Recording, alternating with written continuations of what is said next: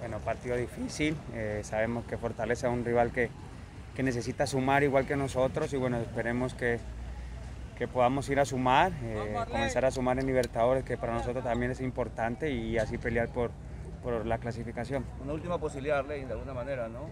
Sí, no, sabemos que bueno, eh, los dos equipos que llevan seis puntos se enfrentan, es nuestra posibilidad de, de acercarnos a, a, ese segundo puesto y bueno, ahora nos toca de visitantes sabiendo que, que después de eso tenemos dos partidos de local y hay que aprovecharlos. ¿Qué tan importante es llegar con dos triunfos al hilo y sobre todo tú con un gol en el clásico, un partido importante? Sí, nos da confianza, claro, ¿no? Eh, acercarnos también en, en, la liga, que queremos también pelearla. Eh, ahora estamos mucho más cerca con un partido menos, entonces esa es la idea, ¿no? Eh, sumar partidos, sumar victorias, que es importante, y ganar mucha confianza, que, que eso nos va a ayudar mucho en, en, Copa también. ¿El cambio de sistema le favorece para este tipo de partidos como Fortaleza?